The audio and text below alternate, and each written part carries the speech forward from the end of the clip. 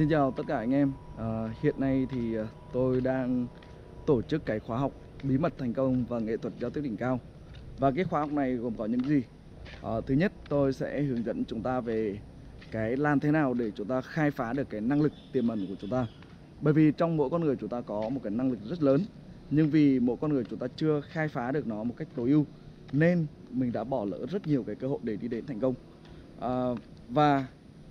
một cái nữa đó là khi mà chúng ta làm đấy, chúng ta không định hình được về như thế nào là mục tiêu như thế nào là mục đích cũng như thế nào là cái tầm nhìn hay là lẽ sống và chính vì khi mà chúng ta không xác định được về cái định hướng cho cuộc đời của mình thì chúng ta không biết là chúng ta cần phải làm những gì và bước một chúng ta cần phải làm gì bước hai chúng ta phải làm gì và bước ba chúng ta phải làm gì và khi chúng ta không biết được cái cụ thể chúng ta cần phải làm gì và chúng ta cứ xoay vòng và cuối cùng chúng ta không đạt được đến cái mục tiêu của mình và chúng ta cũng không có cái sự thành công và nếu những bạn nào chúng ta đang cảm thấy buồn chán mỗi ngày này Chúng ta cảm thấy mất động lực sống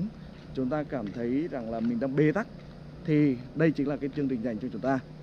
Và trong cái chương trình này thì uh, mình với cô Trần Bích Nga Sẽ chia sẻ thêm cho chúng ta về cái nghệ thuật giao tiếp đỉnh cao. Có nghĩa là trong cái cuộc sống của chúng ta đó 15% sự thành công của chúng ta nó đến từ cái kiến thức và kỹ năng chuyên ngành Còn 85% nó đến từ cái à, giao tiếp và ứng xử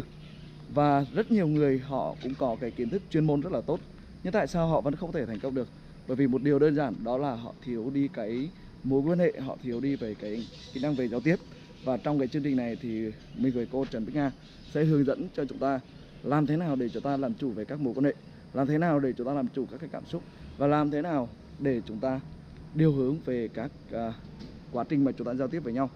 À, tôi lấy ví dụ như thế này. À, chúng ta muốn uh, bán được hàng. Thì cái đầu tiên đó là chúng ta phải có một uh, cái kỹ năng giao tiếp rất tốt với tất cả mọi người. Uh, cái thứ hai đó là khi mà chúng ta đã có mối quan hệ rồi thì làm sao để chúng ta uh, gây dựng mối quan hệ và chúng ta phát triển cái mối quan hệ đó để trở thành những cái đối tác mà chúng ta làm ăn. Và khi chúng ta đã có những cái đối tác làm ăn rồi làm sao để chúng ta phát triển cái mối quan hệ đó một cách lâu dài? Thì cái điều đó có thể là chúng ta cũng đã biết nhưng tại sao chúng ta lại vẫn không làm được? Thì nó vấn đề nó nằm ở trong cái tiềm thức của chúng ta. Và trong cái khóa học này chúng ta sẽ tập trung vào, đi sâu vào trong cái tiềm thức để chúng ta khai mở nó ra và chúng ta phát triển nó lên. Thì lúc đó chúng ta mới có thể đạt được cái thành công trong cuộc sống. Ok, và để chúng ta đến với cái lớp học này, chúng ta hãy để lại tên và số điện thoại. Và tôi cùng với đội ngũ của mình sẽ liên hệ và tư vấn cho chúng ta đến với cái lớp học. Ok, xin chào, hẹn gặp lại tất cả